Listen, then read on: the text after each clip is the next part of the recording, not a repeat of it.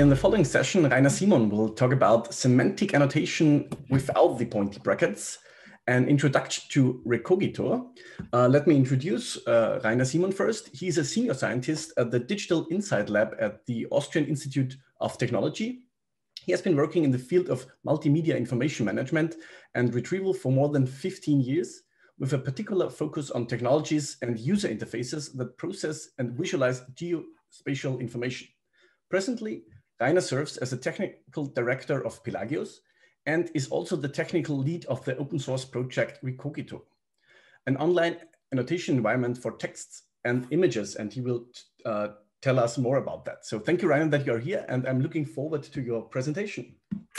Thank you. Uh, and thank you for the invitation and the opportunity to present. Yeah, um, um, so I will be talking about a specific tool, Recogito, as you have heard. Um, I used to have slides uh, formally to talk a little bit about the background. During the past uh, presentations that I gave, I felt that slides aren't really necessary to talk about the background and the creation myth of the tool. It's really just not that relevant. So today I want to make everything as a live demo and uh, you can feel free to try it out yourself uh, while I'm talking. Uh, the tool itself is online. I will show you uh, the URL and everything and what you need to do. But basically the next 45 minutes, I want to guide you through the essentials and, and the functionality that the tool has to offer. Uh, and then you can decide for yourself whether that's something that's useful to you.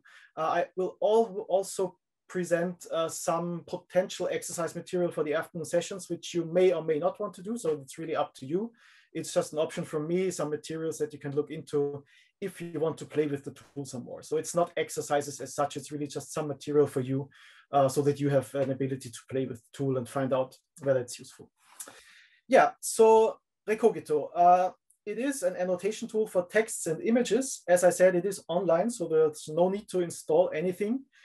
Um, it is also open source software, which means that you could potentially download it and install it to your own machine, or you could download it uh, and install it for your department for, or institute.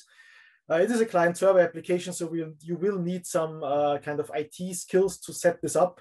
Therefore, if you don't really want to deal with the hassle of setting up a server application, that's what the public instance is there for. Uh, you can find this under this URL, recogito.pelagios.org. So feel free to go there now uh, and register for an account if you want. Uh, so this is what you see. It's the starting page. Uh, also down here, we have a few statistics of people using it. So you can see that this it is actually being used by people. Um, I always say that we're not exactly Twitter in terms of the user base or Facebook, but we have a small, nice family kind of community that's actively using the tool. So if you want to sign up, uh, simply pick a username, add an email address, create a password, and there you go. The email address I have to add uh, is simply being used in case you forget your password. So we will not email you. You will not get any spam from, from us. It's really just there uh, in case you forget your password and you want to send uh, an, an, email uh, an, an, email reminder for resetting the password. Otherwise, I'm going to log in with my user. So that's here, log in. And after you log in, uh, this is what you see. Uh, we call this the workspace. So this is essentially a, an environment like a, uh, like a File Explorer where you can upload uh, documents, you can upload, upload texts in different formats. Uh, either plain text files are supported at the moment or TEI files. Uh, and you can also upload images in various formats like JPEGs, PNG, and so on.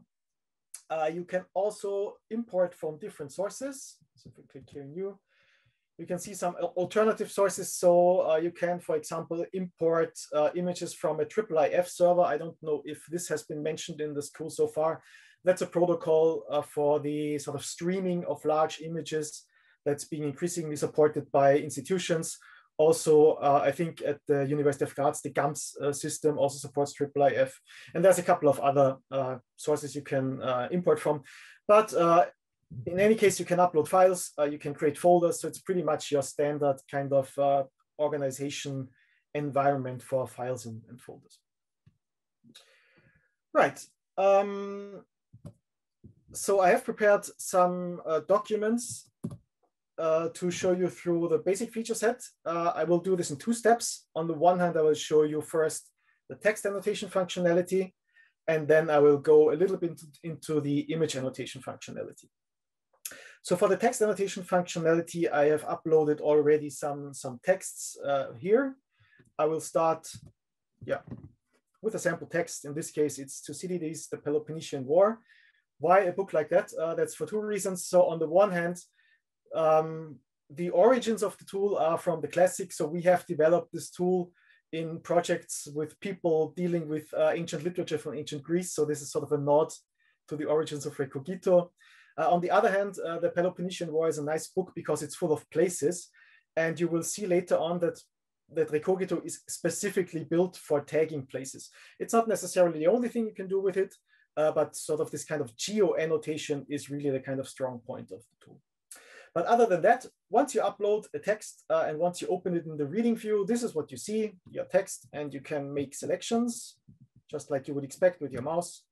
As soon as you do that, this window pops up and you can add comments. You can also add tags. I will show later what people are doing with this so that becomes a bit more clear. But essentially just you type any kind of tag, hit enter, or you can also add multiple tags in one go by separated by comma. Maybe I'll make it a little bit bigger so you can see better. Uh, yeah, so that's that's the one thing. Um, but as I said, uh, the real kind of use case for Recogito is geo annotation. So what is that? Um, essentially, when we built it, what we wanted was a tool that would allow us to build maps from text easily. And in order to do that, you would want to identify the places in the text, mark them up, connect them to coordinates so that you can quickly create a map for your text. I will show you how to do that. Uh, in this case, uh, as I said, we have a very spatial text, so it's full of place names. Let's pick this one, for example, Tarentum. And in order to mark something as a place in Recogito, you simply hit uh, this button here, which is place. And as soon as you do that, you will get a suggestion from one of the built-in gazetteers. Uh, very often you will see this here, uh, something that's uh, a match which obviously is not what we want. So in many cases, we need to correct uh, manually. So in this case, we're talking about the place Taranto in Italy. Uh, so it's not in the US, we want to change that. You click change, and then you get sort of more advanced search options. Uh, the search will already be open and you will get also other matches. So in this case, um, here's what I want. This is uh, alternative matches from different gazetteers. In this case, uh, it's not geonames. I'm, I'm, sure you will be familiar with geonames. That's just an online dictionary of places. But there are other gazetteers on the web as well. In this case, we pick one from Pleiades. Uh, I don't know whether you've heard about Pleiades, but Pleiades is a specific community gazetteer from, uh, from the classic. So it's basically like a geonames, but for ancient Greece and the Roman Empire. So in this case, this is really what we want to use. We just uh, click it, and then this is what happens. Uh, it's two things. On the one hand, you have now created a connection between your text and the place name and the link in the gazetteer. So this is uh, basically working with linked data underneath the hood. Uh, and you already um, have learned about SPARQL today. So you are sort of creating these kind of semantic connections between the text and the gazetteer reference. So that's the one thing that's important. The other thing that's important is down here. That says Rainer, and less than a minute ago. So whatever we do, uh, we always require this kind of manual confirmation. So we never do things automatically in the tool without giving the warning that this is just an automatic match because different people may make different judgments. So it's important that this here is not the place Pleiades 442 and so on, but I, as the user of the system, have said, I have made the judgment that this is sort of the place. So this kind of audit track is very important that whatever happens in the tool is always linked to the person. Um, okay, let's uh, try this a second time. In this case, I think we stand a better chance of getting the first match uh, initially because this is probably not existing as an American city again. So um, yeah, uh, we get the right match, but again, I can already save it, but it stays sort of gray. So I know this is a, a place name that has not been verified yet. So until somebody says, this is actually the right match, it's not going to turn green. And this way we can also have this kind of workflow built in uh, of, of uh, of sort of sanity checking or that whether you know whether something has been verified and the a person has looked at it or whether it's still fully automatic. Right, so that's sort of the basics of, of place tagging. Uh, for those who have uh, used uh, sort of more advanced digital tools already, you will probably know that there's uh, something called uh, named entity recognition. Named entity recognition is a, an automatic process where an algorithm goes through a text um, and, uh, and identifies the, the place names automatically. So again, this is basically like automating the steps that we've made now. Uh, Recogito has this built in. Uh, and you can use um, named entity recognition. Typically, you would do this before you start manual annotation you will probably set uh, the computer up so that the computer will do pre-tagging before, and then you can just make the correction. So this can speed up your workflow. I will show you quickly how this works. Uh, I will not perform it because if you have a long text, this can take a long time. So this might take up to 10 minutes. So I will only show you the results. Um, but in principle, it works from the workspace. So you select uh, one of your documents in the workspace and when you select something, uh, this options box pops up uh, and gives you some things that you can do with your text. Down there's named entity recognition. You pick it, and then you can select from different named entity recognition engines. On the one hand, that usually depends on the of, um, of the language of the text. So in this case, I would pick uh, the English language model because it's uh, it's an English translation, obviously but you can also select the gazetteers. So here we can avoid exactly what we saw before, uh, that geonames gets used uh, on a text that will speak only about ancient Greece and Rome. So in this case, we can say, wait, I just want nothing else uh, and only use Pleiades. So that way you can ensure that you don't get too many false matches. You will still get a lot of false matches and you will have to do your cleanup, but at least you have some kind of pre-filtering. So as I said, I won't do this now, but I will only show you the results prepared earlier. Again, this is what it looks like, uh, all gray. Um, you can pick by, you can pick, pick different colors. On the one hand, you can pick uh, the color by entity type. Everything that's green is a place, uh, and everything that's blue is a person. So again, also you will see that the named entity recognition often gets it wrong. Uh, so this is something that you will need to clean up by hand. Say, okay, this is actually a place. Um, so this way you can go through this um, and you can also do it by verification status.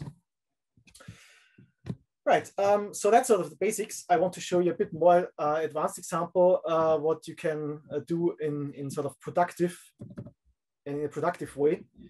Uh, the example I want to show you is a tourist guide from Pompeii. It's from the 19th century, but it is an actual tourist guide. So from a historical perspective, it's quite an interesting uh, document because you can compare the itineraries with uh, today's itineraries and today's guidebooks uh, in the light of people having different interests now than they had back then.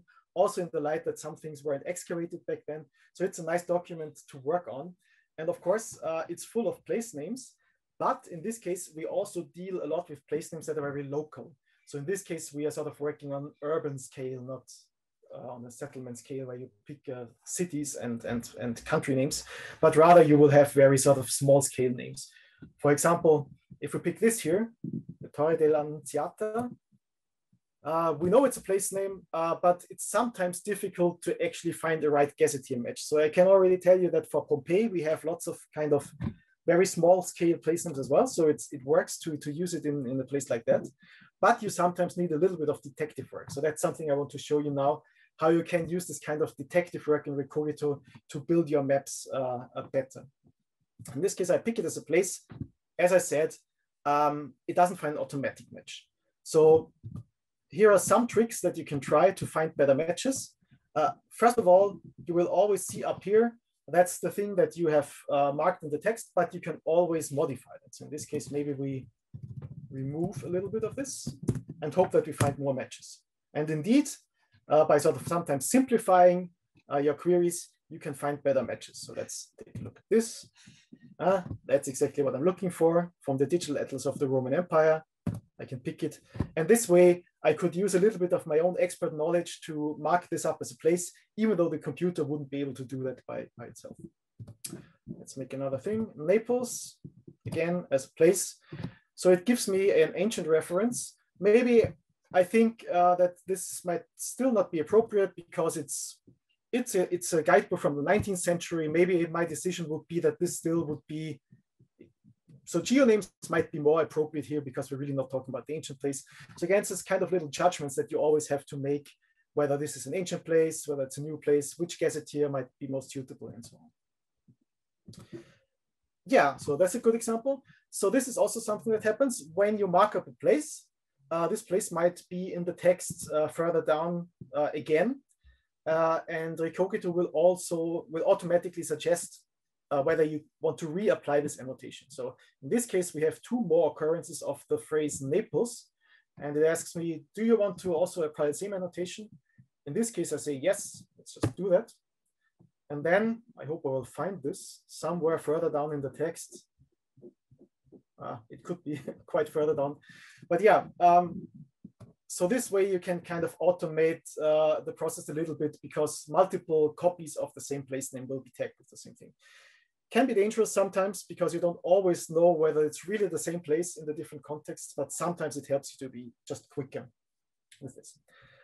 And another example I want to show you with this kind of detective work, uh, which shows that uh, you have to really bring your own knowledge of a place sometimes to tag a document efficiently. Uh, let's take this one, the Forum Nundinarium, otherwise called the Soldiers' Quarters. Again, I think this is a nice example because a computer wouldn't be able to map that anyway, but you as a reader know this is definitely a place name. So it's, it's selected as a place. Again, nothing found, of course. But if we look at the text, it says the letter name was given to the quadrangle. And uh, if you know something about uh, uh, Pompeii, which I don't, but uh, Valeria, my colleague who has set up this example, she knows this. So I, I, am copying her example here. Uh, so with your knowledge of, of, of Pompeii, you might be able to still find this. So on the one hand, it's the quadrangle. Let's just search for the quadrangle. Why not? Oh.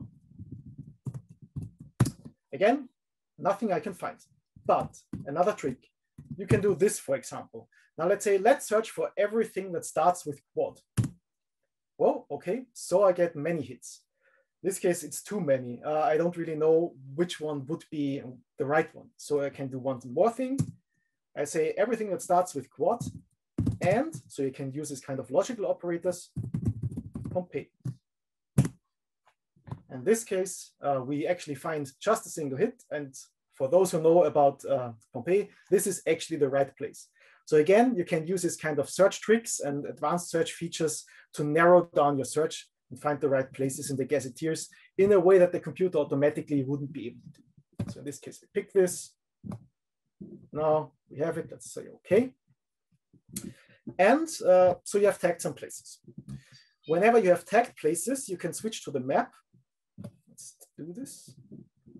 So the map will give you uh, all the places that you've tagged. In this case, let's take a look at this. So that's the quadriportus that I just tagged. Uh, you will also have the option to jump between the text and the map. Uh, and uh, the size of the dots also indicates how many times something has been tagged. So Naples is something that we tagged three times. So I tagged it manually two times. I attacked it manually one time and it was automatically reapplied twice. So this case, the Naples dot is just bigger. And we can see here are three annotations and you can also flip between uh, the different texts that have been tagged with Naples. Right, uh, so that's basically all there is to tell about the, the text view. Uh, in order to get you, give you a better idea of what other people who've been using it longer are doing with this, I want to show you some examples that other people have already prepared. Um, yeah, so one thing which I like uh, is uh, a public document uh, by another user. And this also is a nice example to show you the search functionality. So you have this kind of box up here which says search my workspace. And if you down hit the down arrow, you can do a little bit more. So in this case, I can search all of Recogito, which means all the documents that people have made public. I will come to this in a minute. Uh, every document that you upload is only visible to you, but you can make them public if you want to. So what we can do now is we search in the public documents and uh, I search for something. Let's see what happens. Uh, that's bad.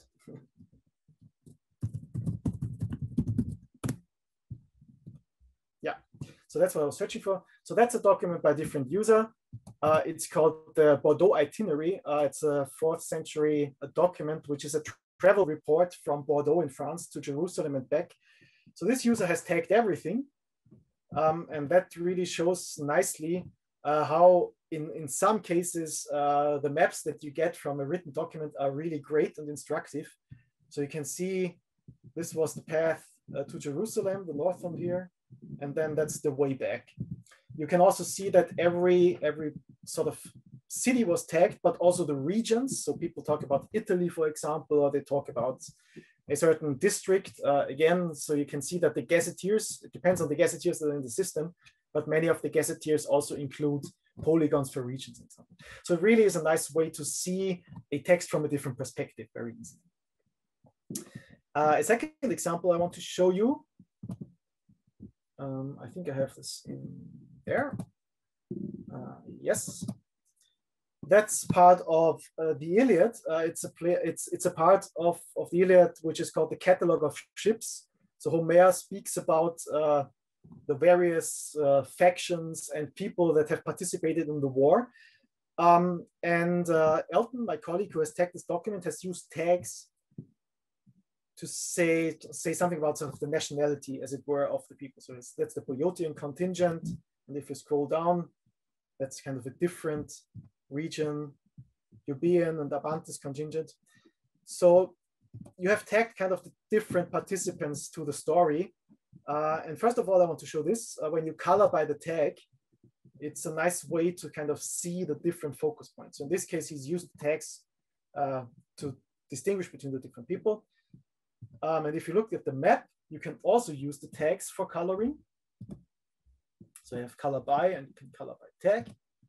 And then you can see kind of these different factions of the story. Again, it's an easy way to get a bit more out of your texts or get a different perspective of your texts by very simply tagging things uh, with tags and spatial relations.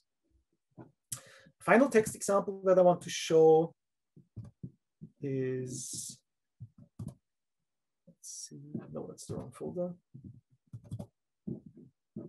This one. Yeah, first of all, um, you can upload multiple texts in one go. Uh, so you can select like four texts from your computer and you can drag them into the workspace and then they will get uh, uploaded as a single document. So this is normally useful if you have a book, say with uh, like 10 chapters and every chapter is a separate text file. And then you have uh, the reading view and here on the side, you have essentially the table of contents. Uh, my colleague Valeria has made uh, creative use of this feature, not by uploading a book with different sections, but she collected texts from different authors, and all these texts speak about Arabia. So it's all uh, authors from antiquity, like Strabo, Procopius, Herodot, Herodotus, and so on. And she tagged all of these different uh, texts. And because they're in one document, they all end up in one map. And again, you can use the map coloring options. In this case, let's color this by, uh, by part. Part means by different texts. And one thing which you can nicely see is that, um, for example, if you look at the text from Procopius, that seems to talk a lot about quite different regions than Strabo, for example. Uh, then those white dots here, uh, they indicate um, places that have been mentioned in multiple documents. So that's kind of the overlap so that's also a nice way to compare different texts against each other. Against each other. Right, uh, just some, uh, uh, I guess, um, examples to, to get you started if you want to play with this yourself. Uh, but for time reasons, I will switch to uh, a different thing now, uh, namely the functionality for annotating images. As I said, you can also upload images in different formats. I've done this here. Uh, since Recogito is a tool for geo annotation, it's really most useful for maps, I would say. So that's why I'm also using uh, a map as, as the demo example here. The features look pretty similar. You have, again, kind of this reading view. Um, you can also do full screen representation. You can zoom, you can pan. So it's the kind of usual interface that you expect nowadays. You can also rotate which is sometimes really useful for maps because they have those uh, place names written in different uh, orientations. Like here, for example. Um, and up here in the toolbar, you have different drawing tools. Uh, you can mark a point, you can mark a rectangle, or this is my favorite tool. It's called the tilted box. Uh, that allows you to draw uh, a box at an arbitrary rotation with just two mouse clicks. So let's try this out here. So I click once, I move the mouse, uh, and I move it up. And this way I have uh, created a box around this toponym here. And uh, Recogito also knows which side is down because that's sort of the baseline. So it has a, it's quick to use and it gives you up and down orientation too. The, the editor pop-up uh, looks just the same. Um, it just has an added line called transcribe, which makes sense if you're working with maps. Again, uh, sometimes when working with this material, you probably need some detective work. Uh, in this case, I think you can't really find anything about this in, in your gazetteer. I looked this up uh, and I found out that it's near a place called Stykkishólmur in Iceland. So just for the demo, I was of fake this now with my own knowledge, just so that you can see that it's also placed on the map. Let's take this here. But other than that, the process works identical. So again, you have your geonames link, which means you have a geo coordinate. Um, it's confirmed that it was done by me. And uh, let's move to the map. And again, it looks similar as before with the text. You get a marker. And just like with the text, you will get um, a preview of the annotation. In this case, it's an image. And it's also rotated correctly because of this kind of tool that allows us to give the, uh, the bottom orientation. Sometimes uh, for people who take images, um, it's it's also quite convenient to have uh, to be able to export those images.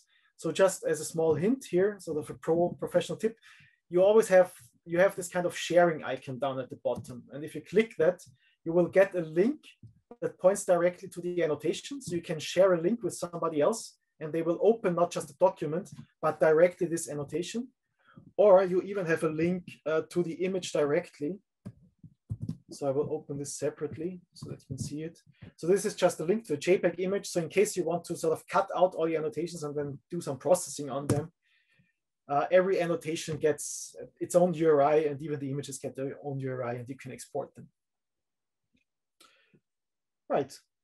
Um, that's yeah, that's mostly what uh, what the annotation interface is about. Again, I want to show you some ex examples of, of what other people have done with this. Um, let me check my cheat sheet. Yeah. So my first example is this. Again, it's a map uh, because, as I said, this is where it's most useful. I think that's an interesting example because it doesn't look like a map at the first glance, at least not from sort of our Western modern perspective. Uh, it's an early Islamic map um, from a manuscript called the Book of Curiosities. So first of all, when you encounter this as somebody who's not familiar with the matter, it will not tell you much. So again, uh, having a map view and having a geotag actually helps because here you can see, okay, so this is uh, places around the coast. Let's just try something here. Uh, so this is the river Lixus. If we jump to the image, you can see, oh, okay, so this is really sort of the North African part.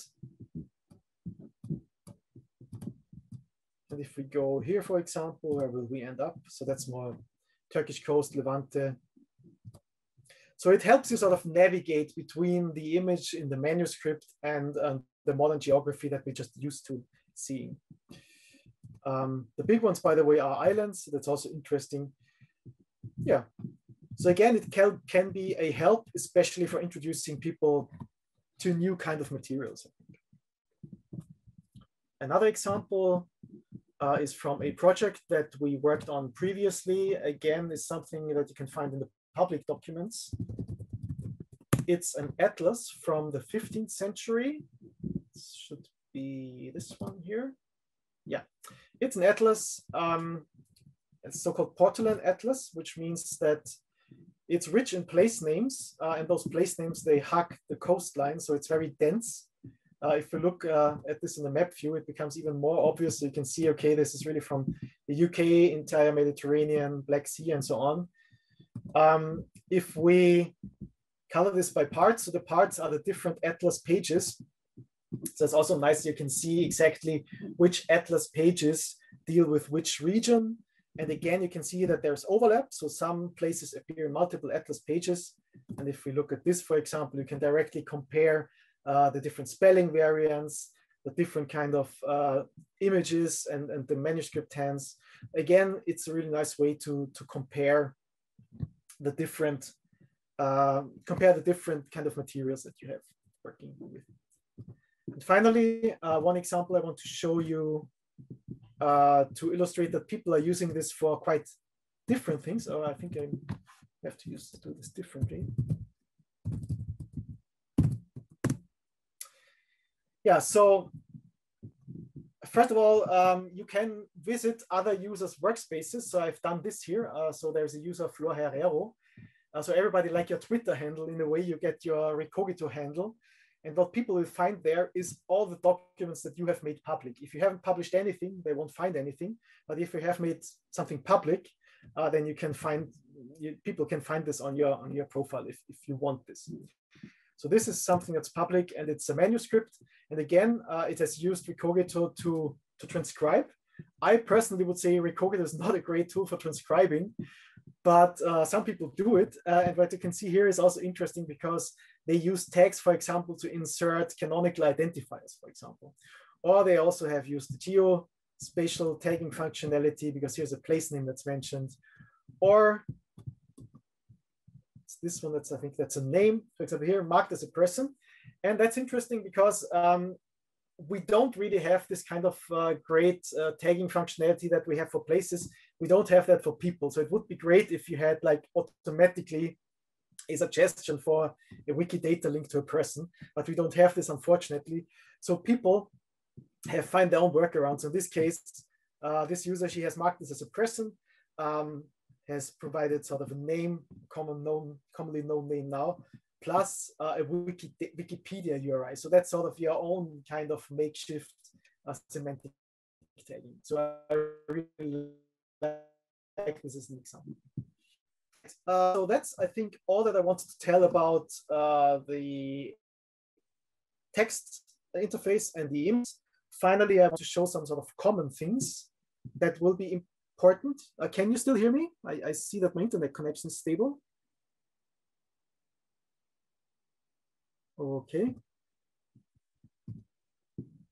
So I hope that you can still hear me. Yeah, okay. um, yeah, so when you upload a document, I was already speaking about this um, earlier. Uh, sorry, just a second. Doesn't matter.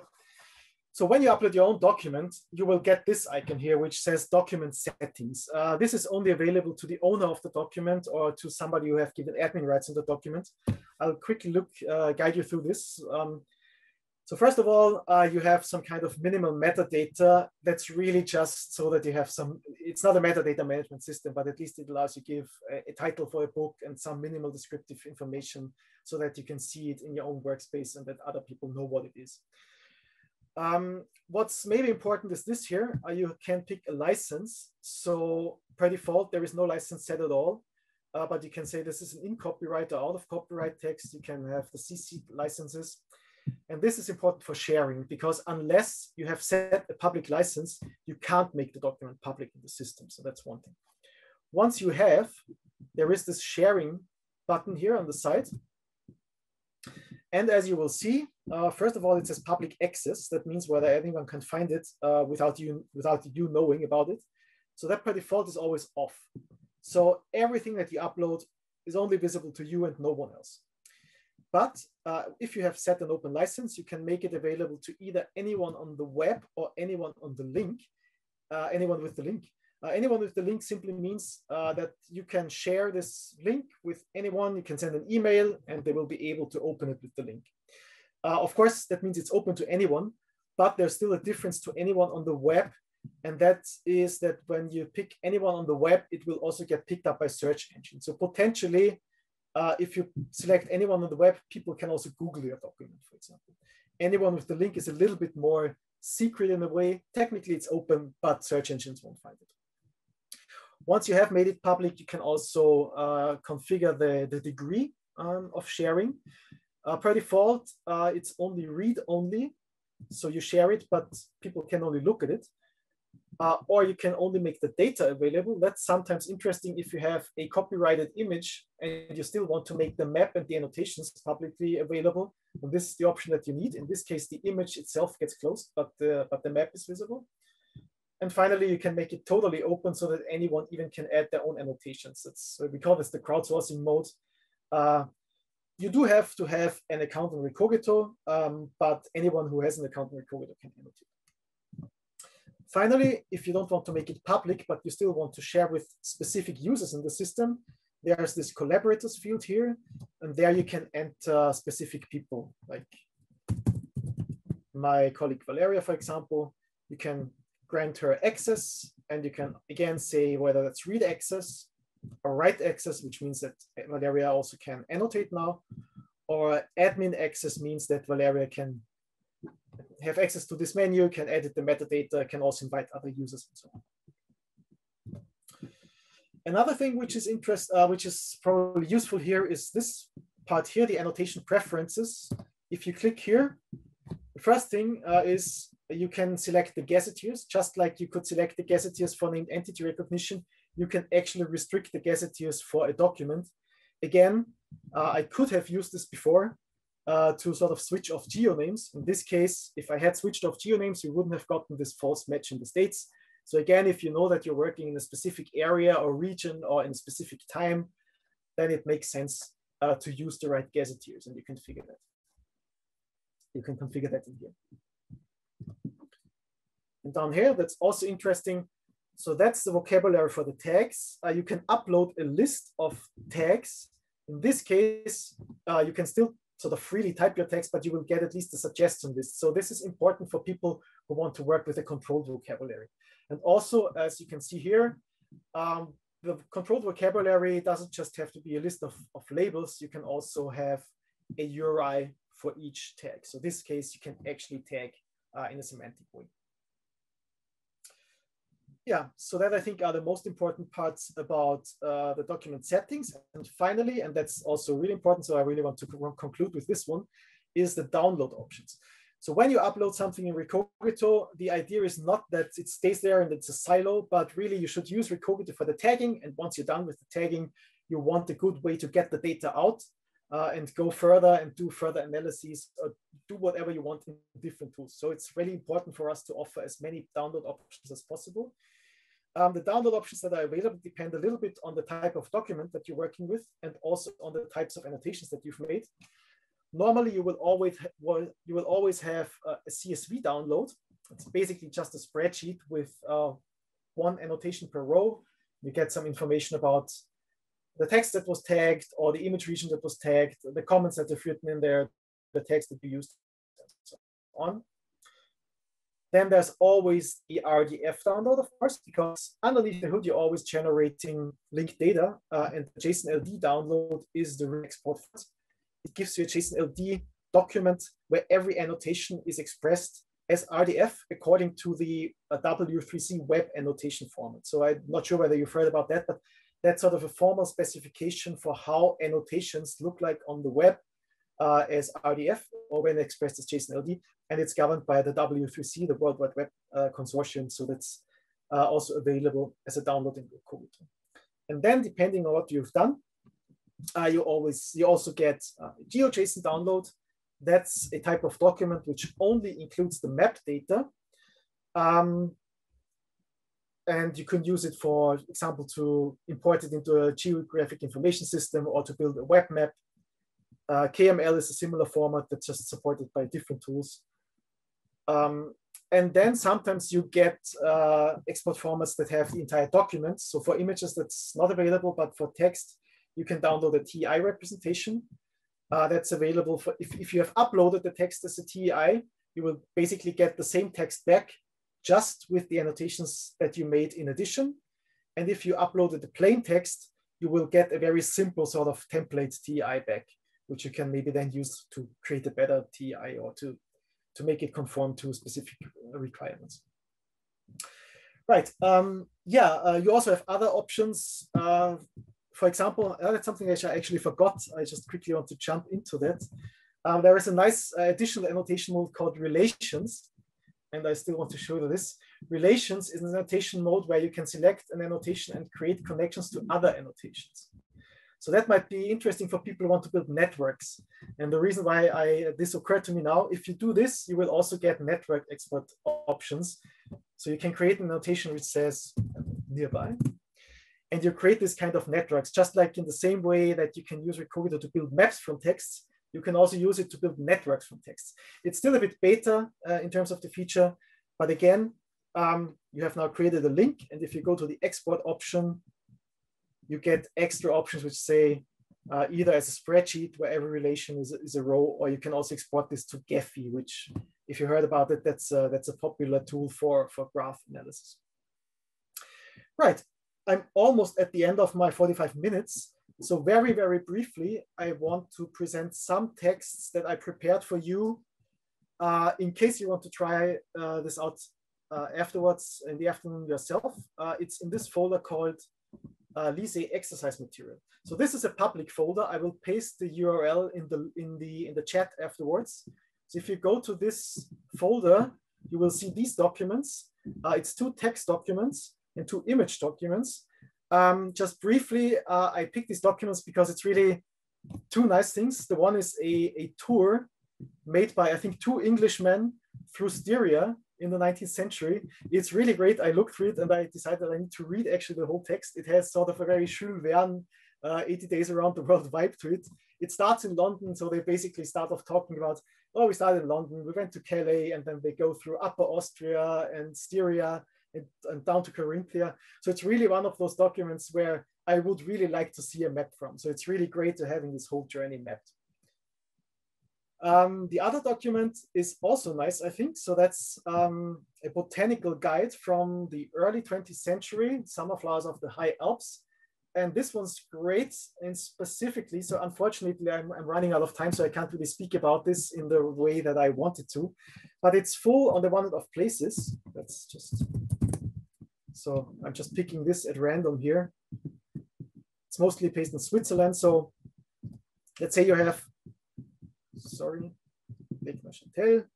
So you can tag the places. Again, I'm using my tricks to maybe find a match. So that, that will do. So at least it keeps it up on the map. But it's also full of species, right? So you have the yellow horned sea poppy. Um, and again, it would be great to have uh, sort of this lookup functionality built in where you can really just already add a Wikidata URI. That unfortunately is not possible. But if you if you Google, for example, for the yellow horn sea poppy, let's just do this. Let's see whether we find um, a Wikidata URI for this. So in this case, okay, at least I can find a Wikipedia ID, but maybe we can find something in Wiki, Wikidata too. Yeah, we can.